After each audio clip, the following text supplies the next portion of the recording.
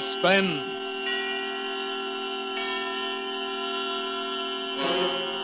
Autolite and its 96,000 dealers present Miss Lucille Ball and Mr. Desi Arnaz in The Red-Headed Woman, a suspense play produced and edited by William Spear.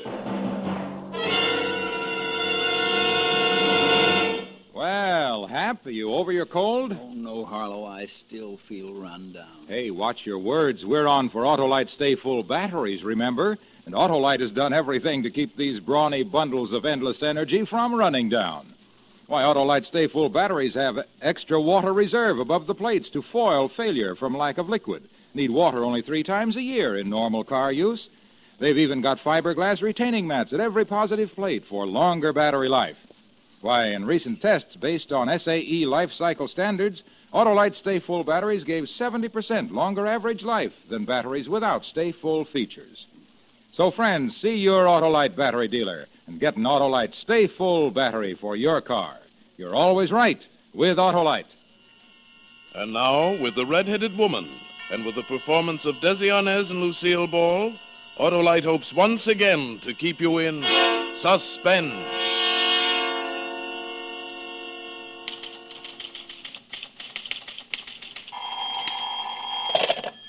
Jensen Corporation. Hello? Hello, Linda. Yes. Oh, hello, Frank. Oh, look, darling, I thought I told you not to call I know me. I shouldn't call you at the office. I'm sorry, Redhead, but I had to talk to you. You see, I.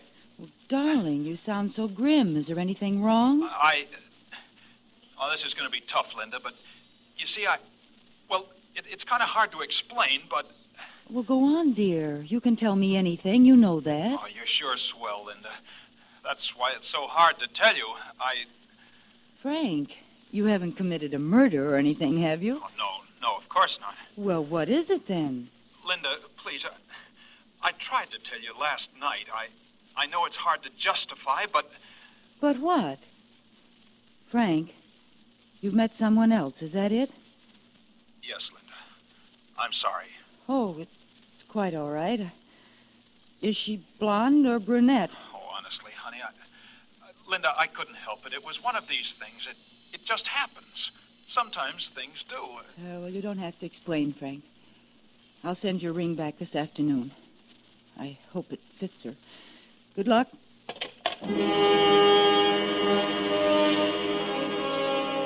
Tears came, and then I tried to laugh it off. And then I felt myself getting good and mad. What a fool I'd been. For two years, my every thought, my every move had been patterned toward Frank's wishes and welfare. Other girls, the selfish type, were holding their men. It was, well, I'd made up my mind that the future would be different. From that minute on, I'd think of myself first, last, and always. Suddenly, I wanted to get away, do things, have beautiful clothes, money, especially money. I suppose it's a kind of independence any woman wants to grab for in a moment like that, when she's found out you can't depend on a man. Ah, good morning, Linda. Oh, good morning, Mr. Jensen. Yeah. Say, feeling all right? Of course. Why shouldn't I? Well, I don't know. You just seemed a little despondent. No, I'm fine. Good, good, good. Oh, uh, will you put this away for me? What? Payroll money? Well, it's only the fifth, isn't it? I'm going to Florida for a couple of weeks, Linda. Oh. I do the payroll money today because I'm leaving tomorrow. Oh, that sounds wonderful. Yes, doesn't it? I've been thinking about it for years. Mm. Say, why don't you take a few days off while I'm gone, Linda? What? Oh. Why don't you, Linda? It's a good idea. Certainly I won't be needing you.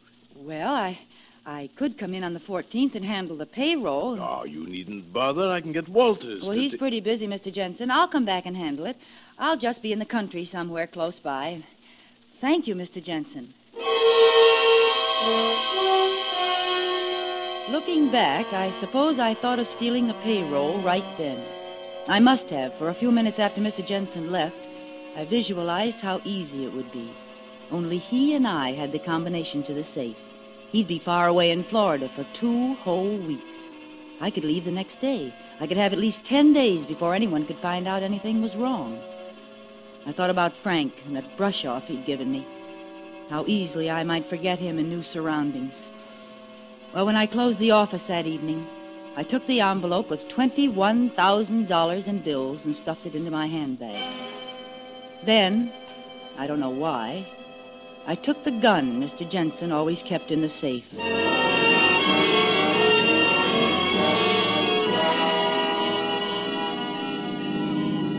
Next morning, I left Kansas City and began driving west. By the next afternoon, I was well into Texas on the inland route. I knew vaguely that I had to get across the border, but the actual fact that I was a criminal hadn't quite percolated yet. A few miles out of Big Spring, the weather changed, and dark gray clouds replaced the blue skies.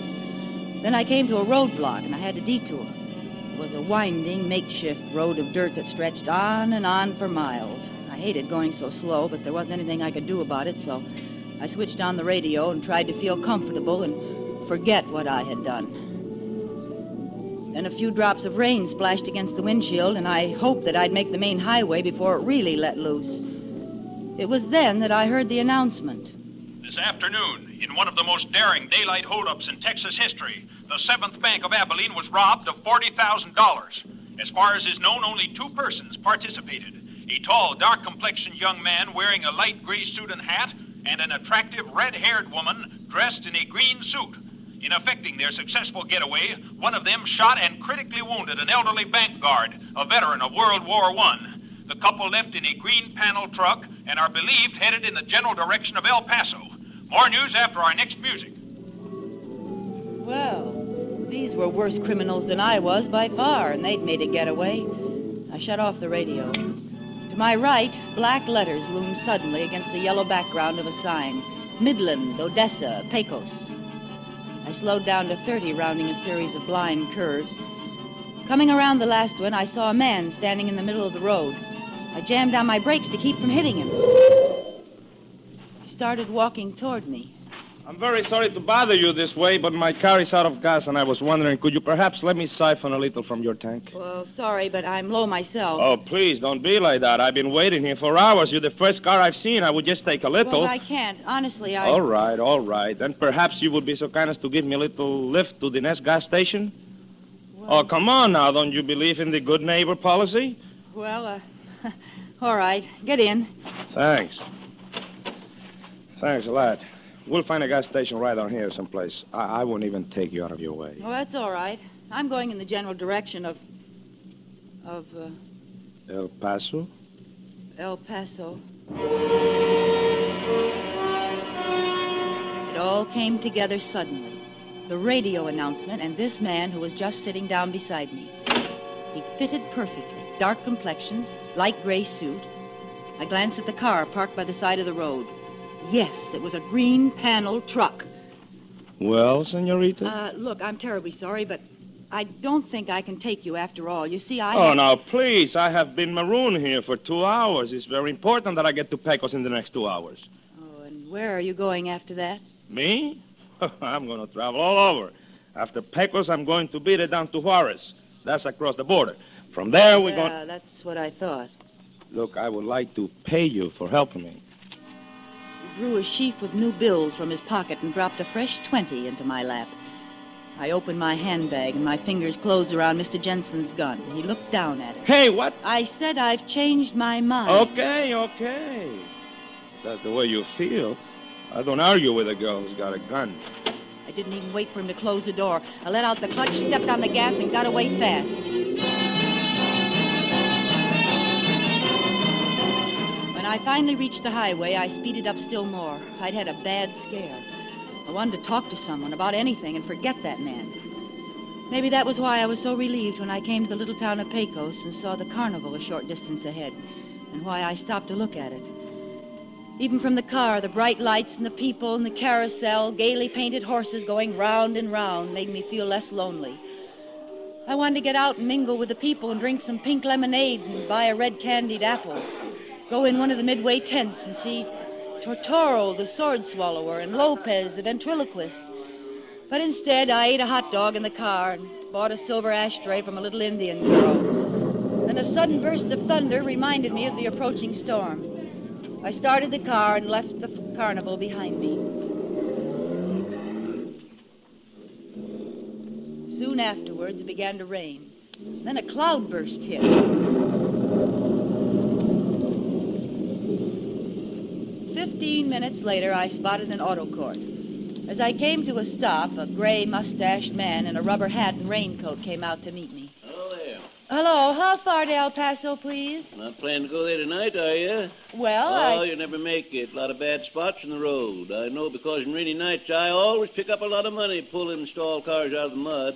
Well, maybe I'd better spend the night here then, if you have a vacancy. I got more vacancies than anything else. I'll fix you up with the best cabin on the place. Used to live in it myself. Come on, I'll show you. It's uh, number three. Oh, it sounds fine. Do you mind if I use your phone first? no, go ahead. Go ahead. There's a booth over there right next to the office. Thank you. I'll open the cabin door and leave the key on the dresser. You can put your car in the shed there. I was going to phone the El Paso police and tell them where I'd last seen the man answering the description of the Abilene bank robber. I dialed and waited for her to answer.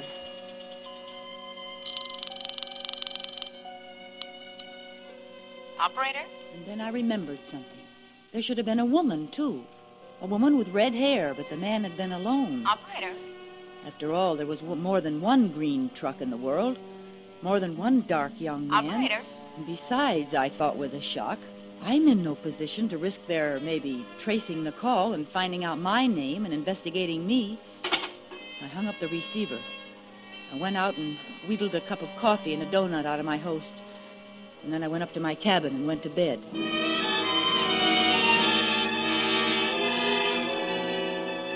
I woke up about 10 o'clock. A car had driven up and stopped right outside my window. The headlights were shining in. When I got up to pull down the shade, I saw the car. It was the green panel truck I'd seen on the road, and this time a woman was in the front seat. Then the proprietor and the other man came out of the cabin next to mine. All right. I lowered my care of it. shade and then listened to I'll the, wait till the storm is over, window. and then I'll go on to El Paso. Is it all right if I leave my truck out here? Oh, sure. There's a garage in back if you want to use it. No, thanks. I'll just park it here near to the door. I heard him enter his cabin. I locked my door and sat down on the bed. It was very quiet next door. Finally, I guess I must have dozed off. But then, all of a sudden, I was awake again. Voices, a man's and a woman's, were coming from the cabin next door. I got up, opened my window very quietly, and listened. Half of the money, and it's mine, Jose. I don't think you had better forget that. If you do, you will be sorry. Very sorry. You are wrong, Carmencita. It will not be me who is sorry. What do you mean? It shouldn't be difficult for you to figure that out. You mean? oh, but that is so funny. You couldn't get along without me. No. Not even for one week. Not one week. I would not laugh if I were you, Carmen. Wait, Jose.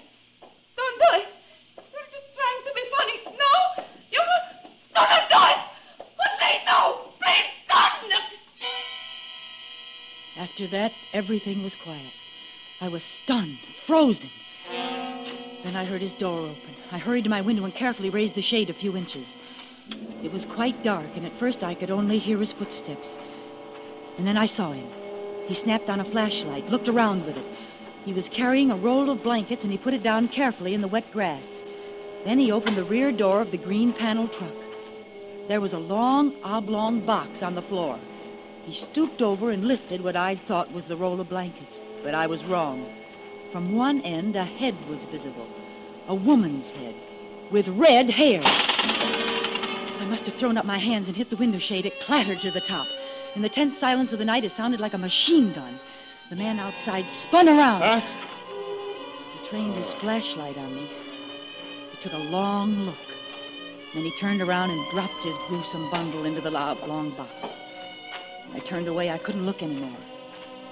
Finally, I heard him walk toward his cabin, go inside, and shut the door. Then I took a chance. I threw on my raincoat and shoes and hurried to the proprietor's office. I Murda knocked on his door and called to him. There was no answer. So I wrote a quick note and slipped it under his door and hurried back to my cabin. I closed my door and was just fumbling with the key when the lights went on. No use to lock it now, senorita, and don't make a noise. He was sitting in a chair, smiling, casually pointing a gun at me. My gun that I'd foolishly left on the dresser. you were not so very smart, were you, sweetheart? This gun, it looks nice. I think you handle it good, too. I almost found out this afternoon on the road, didn't I? Now, look, I, I, I wasn't going to use it, honestly, but, well, you know, you, you read a lot in the papers about the trouble people get into picking up strangers, and I. yes, yes, sure, sure. You're always careful. Stay out of trouble. Mind your own business. That is very good to remember, Well, senorita. That, that's all I was doing. Well, what do you want with me? It's just too bad you looked out on me just now. I wouldn't have known you were here. I didn't mean to spy on you. I was awake, and when I heard a noise outside, I, I looked out, that's all. That was natural, wasn't it? Maybe, but it didn't turn out so good for you, did it? Come on now, we're getting out of here, and you are coming with me. But where, where are we going? Just places, senorita, just places. Come on now. But what do you want with me? You, you don't want me. Don't want you? Why, I'm crazy for you. I've been looking for you. I've been looking for somebody just like you.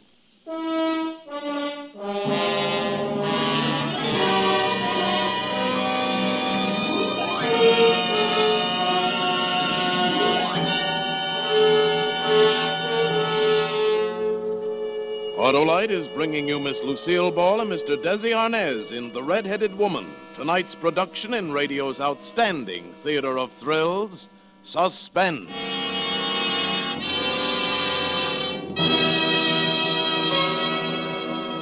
Feeling better, Hap?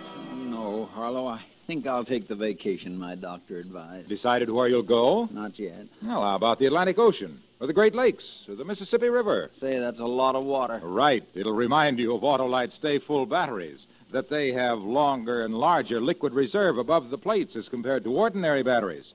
Need water only three times a year in normal car use. Or, hey, better still, Hap, visit the zoo, see the camels. Tell them Wilcox sent you. What? And get tossed out on my ear for su- suggesting that Autolite Stay Full batteries can go without water longer than camels can? Well, tell them about those fiberglass retaining mats protecting every positive plate for longer battery life. Tell them that in recent tests based on SAE life cycle standards, Autolite Stay Full batteries gave 70% longer average life than batteries without Stay Full features. Well, wherever you go, Hap, take along an Autolite Stay Full battery. You're always right with Autolite. And now, Autolite brings back to our Hollywood soundstage our stars Desi Arnaz and Lucille Ball in The Red-Headed Woman, a tale well calculated to keep you in suspense. It was quite a moment. Jose motioned with the gun for me to pick up my suitcase.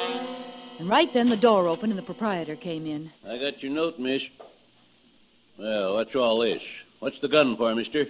Oh, it uh, um, belongs to the lady. She was just showing it to me. Oh, yeah? Wh- well, yes. Yes, that's right. I'll take it back now. This man bothering you, miss? Is that why you left the note? Yeah, I I'd was. remembered my position again. I'd thought of the 21,000 in my handbag. I wanted this murderer locked up, but I didn't want to risk too much investigation. I wasn't bothering her. No, no, I just thought I heard someone at the window. And when I couldn't find you, I went next door, and this uh, gentleman was kind enough to. Yeah. Guess I owe you an apology, mister. But then when I saw you with a gun. It's okay, it's okay. Forget it. Forget it, amigo. Sure. Well, good night. All right, you. You stand over there. Well, I guess you must be crazy for me, eh? To lie for me like you did? No, I'm just fond of myself. Things have kind of changed, haven't they, Jose? Oh, you know my name, too. I know all about you. Really? Yes, I guess things have changed. All right, now. That was a good idea you had before about leaving here. Come on, pick up my suitcase. Yes, ma'am. Where are we going? Like you said, places, Jose. Just places. Now walk quietly. My car's right outside. Anything you say, senorita.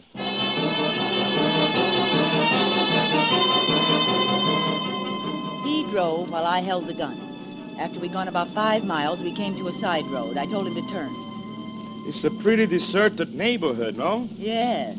Please tell me, where are we going? Oh, you're not going very far. You know, I wish you didn't make me leave my truck back there. Oh, you're worried about what's in that pile of blankets, huh? Yes, that's right. Somebody might find her. Senorita, please. Not a chance. Oh, look, now, uh, why don't we talk this thing over? I think maybe we could. Uh-uh, uh-uh. I'm not buying a thing. Well, I certainly hope you know what you're doing. Uh-oh.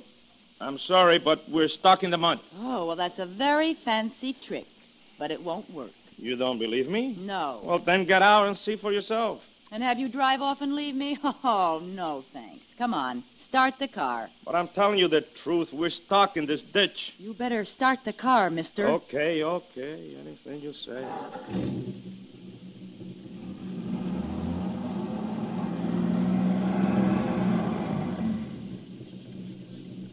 You see? Try it again. All right, but it'll only get us in deeper.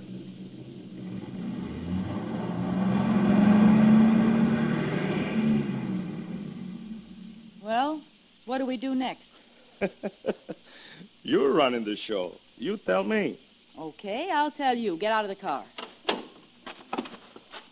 What do I do now? Pick up some broken branches and put them under the wheels. Like I said, you are running the show. No, no, never mind. It's too dark. I can't see you. Get back in the car here. But you give up too easy. Why don't you think of using a flashlight? I don't have one. Well, maybe if you ask me real nice, I will let you use mine. Where is it? It's here, in my coat pocket. All right, senorita, drop the gun. Quickly. It was over in a second. Before I knew it, he'd reached in his pocket and jumped behind me. I'd forgotten the most important thing of all. I hadn't searched him. I could feel the gun against my back. Now you're going to get into the car. Hurry. Yes, sir. Now you will drive for a while, no? But I thought we were stuck. That is exactly what I wanted you to think. Good, eh? Start the car.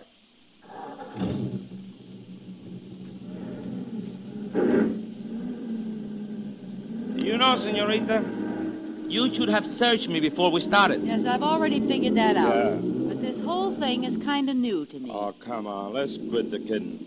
You know, I think you would have been very surprised if you would have searched me. You know why? Nothing would surprise me. Oh, I think so. Because you wouldn't have found any gun. Only this. A flashlight. it feels very much like a gun against your back, doesn't it? Especially when you're very frightened. Look, let me go. I swear I'll never bother you again. You won't bother me, not where you're going. You won't bother anyone. Drive a little faster, please. I drove for several miles without saying a word. Then I took a chance. I speeded up to 60, then jammed the brake to the floor. "oh!" Jose's head banged against the windshield. He dropped the gun. I grabbed it almost before it hit the floorboard. Now, out again, Mr. Finnegan. We're going to change seats. Oh, my head. That was very smart, baby. Very smart. Almost as good as your flashlight gun trick, hmm? It's better. Your trick wins. Oh, well. What cooks now? We're heading straight into El Paso Police Department. But, but, but, baby, you can't do that. Why can't I? Because it's too foolish. And the senorita is not a fool. No, the senorita isn't. That's why you're driving straight to El Paso and the police. Yes, ma'am. Whatever you say. I certainly hope you know what you're doing. Now, the senorita has learned a lot in the last few hours. Drive carefully. He shrugged his shoulders and settled back behind the wheel. I decided I'd been needlessly concerned about the police. After all, no one knew I had the $21,000 in my handbag. No one even knew it was missing. When I handed the police the man they were looking for, they wouldn't bother about me. They would accept my statement that I was just a secretary on my way to Mexico for a vacation. As we entered the outskirts of El Paso, I switched on the radio and settled back to enjoy it. And now our Texas roundup of the latest Texas news. Texans who expect quick and speedy action when it comes to lawbreakers in our state won't be disappointed when they hear the outcome of the bank holdup and killing of a guard in Abilene two days ago. What? What's that? Be quiet, be quiet. culprits, Listen. Manuel Milani, a non-Texan, and Betty Murphy, a red-haired Californian, were apprehended today in Big Spring, only 61 hours after their spectacular holdup of the Seventh Bank of Abilene. Both freely confessed to the crime. The bravery of our Texas Hey, wait a minute. You wait a minute. Stop the car. Now, I don't believe it. Neither do I.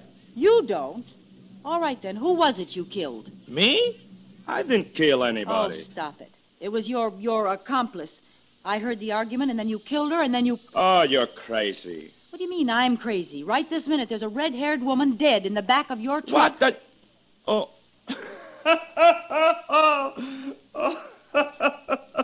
oh, boy, that's a good one. You know, you're right.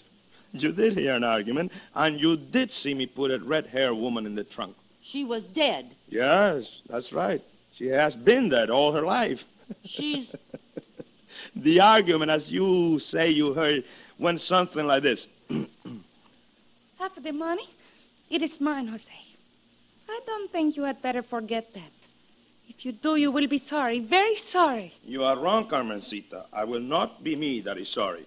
You couldn't get by without me. No, not even for one week. Not one week. For heaven's sake. A ventriloquist. What do you mean, a ventriloquist? I am the best. Jose Lopez, the great. Oh, what a relief. Yeah, your relief. What about me?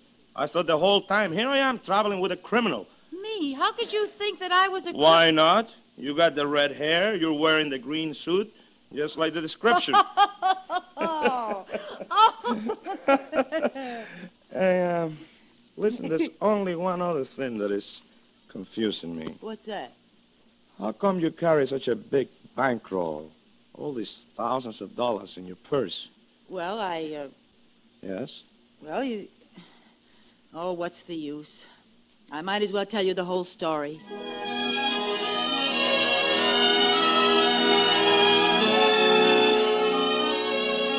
And you know, I found myself doing it. And Jose explained to me how silly I'd been to ever try such a thing. And then it struck us that it was still only the 13th of the month. So we drove back to Kansas City together. I put the money back, and the payroll went off just like it always does. And oh, that Jose. He's so cute and so wonderful. Hey, baby, come on. Hurry up with that dinner, will Yes, you? Jose, dear. Hey, what are we going to eat tonight, baby? And it better be something good, you know. A husband can testify against his wife. Same as usual, amigo baby. Enchiladas with tacos and hot sauce. yum, and yum, Chili yum. with tamales. Mm.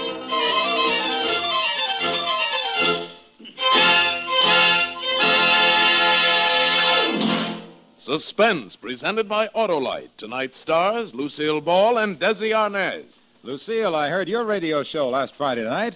Like it? Sure, swell show. Mind if I get in? Of course not, Desi. I warn you, Desi. Harlow will try to sell you an Autolite Stay Full battery. Oh, me, I'm sold already. That's just what I was going to tell Harlow. His product is terrific. Why, thanks, Desi and Lucille. Autolite Stay Full batteries are, as Desi says, terrific. They need water only three times a year in normal car use. Yes, sir, their extra liquid load above the plates as compared to ordinary batteries helps lick a leading cause of battery failure. Autolite Stay Full batteries are just one of more than 400 products Autolite makes for cars, trucks, planes, and boats in 28 plants coast to coast. These include complete electrical systems used as original equipment on many makes of America's finest cars and trucks. Batteries, spark plugs, coils, distributors, starting motors, bullseye sealed beam headlight units. All engineered to fit together perfectly, work together perfectly, because they're a perfect team. So, folks, don't accept electrical parts supposed to be as good. Ask for and insist on Autolite, original factory parts at your neighborhood service station, car dealer, garage, or repair shop. Remember, you're always right with Autolite.